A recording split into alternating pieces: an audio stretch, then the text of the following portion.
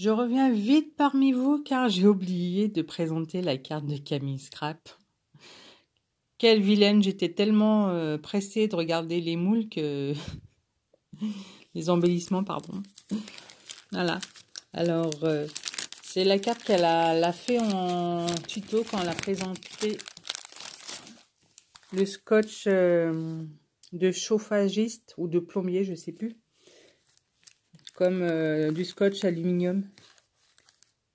Voilà, elle avait présenté, elle avait fait un tuto de cartes avec, voilà, elle a fait un, un embossage à froid avec le, scotch.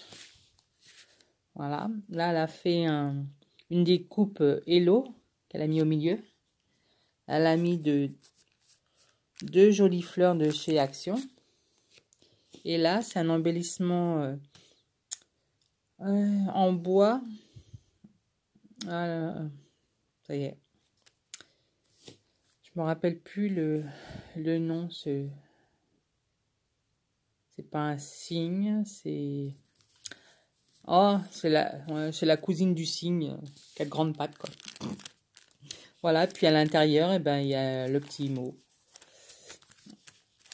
Et puis à l'arrière, je crois qu'elle a marqué, a marqué Camille Scrap. Voilà.